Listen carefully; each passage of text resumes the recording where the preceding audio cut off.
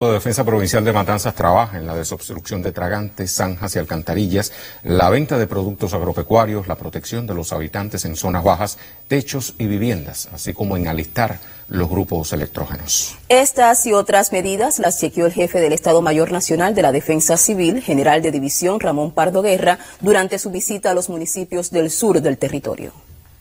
El Consejo de Defensa Provincial de Matanzas puntualiza las medidas como parte de la fase de alerta ciclónica en la cual se encuentra el territorio.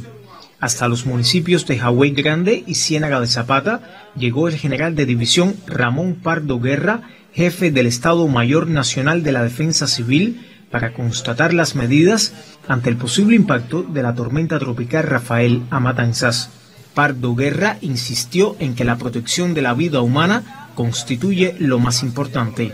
En su intercambio con los consejos de defensa municipales, llamó a limpiar los pozos de infiltración en Hawái Grande para evitar las inundaciones y puntualizar las medidas en zonas bajas, en especial en la laguna Cantarrana y la montaña.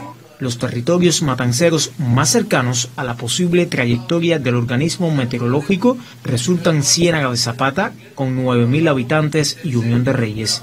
El presidente del Consejo de Defensa Municipal en La Ciénaga, bienvenido Roy Chiquino, precisó que los poblados de Cayo Ramona y El Elechal se inundan a partir del escurrimiento proveniente de las lluvias de las provincias del centro y Matanzas. En el caso de las comunidades más apartadas como Guasasa, Cocobrilo y Santo Tomás, envían médico, agua potable y alimentos suficientes para enfrentar la situación.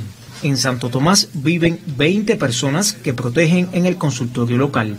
En tanto, los turistas los evacúan a lugares seguros. Las embarcaciones estatales permanecen en puerto y protegen las de la pesca deportiva. El presidente del Consejo de Defensa Provincial, Mario Sabines Lorenzo, y su vicepresidenta, Marieta Poy Zamora, insistieron en la necesidad de no confiarse y adoptar las medidas para reducir los riesgos de inundaciones en poblados como Alacranes y Bermejas en el municipio de Unión de Reyes como consecuencia de las intensas lluvias.